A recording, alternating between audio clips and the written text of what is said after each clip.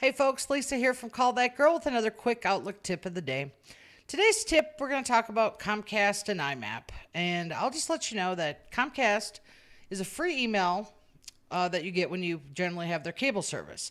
And Comcast also has business email services, which honestly, I don't think I can highly recommend that. Uh, I've had a lot of problems with the business class email there. But uh, for the home users, they usually have POP accounts. And a couple years ago, I believe, they started offering IMAP.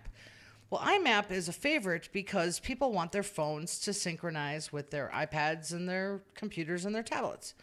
Okay, so if you have your Comcast IMAP set up, um, it's pretty much easy to set up and just move your POP folders over. But the one thing that I want to alert you of is I had a client that I helped do a little migration from his POP to IMAP. But you know, after the appointment, uh, some things changed, and he uh, went through some struggles. And he emailed me a little FYI and wanted, you know, to share with me. And I asked him if I could share this with you folks, so you're aware of it too. Um, apparently, and this, like I said, was after the appointment. Um, and sometimes I don't know about things till the next day or whatever, because I have to see how things work for people. But he discovered that the change from POP3 to IMAP caused Comcast email to change the default settings on the webmail and correspondingly in Outlook to permanently delete, not move to trash mail from folders, including the inbox, within time frames as low as one day. Now, I'm sure he called Comcast to get that figured out because that to him was probably pretty serious. Where's my deleted? You know, people like keeping their deleted emails. You know, so if you go delete something, you want to go find it. Well, there are settings in Outlook that you can do to change that.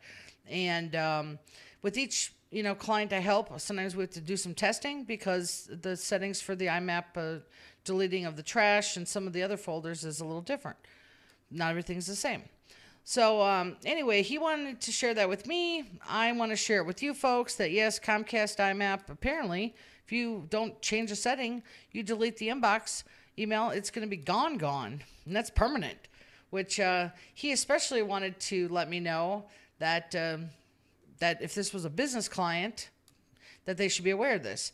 And the thing is about Comcast email is there's still some businesses out there that use Comcast, you know, for their business account, like Comcast.net.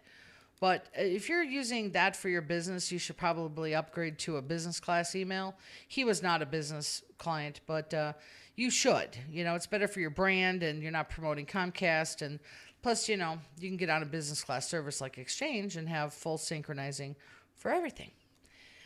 All right, anyway, uh, I'm Lisa. I'm Call That Girl. I'm a Microsoft Outlook expert. And if you need help with your Comcast IMAP or moving to Exchange or any other problems you're having, feel free to call me 612 865 4475 or you can email me lisa call that girl like excuse me call that girl.biz and if you've liked this video please like share and subscribe.